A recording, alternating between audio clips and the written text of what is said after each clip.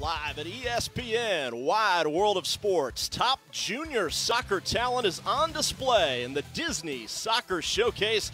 Tampa Bay United and the Atlanta Fire set to go at it on Championship Field. We are thrilled to be with you. Welcome inside our studios. Tom James alongside the former college All American Eddie Rodriguez. And Eddie, these teams from around the country have fought hard to get here. And today and this week, we find out who's the best of the best.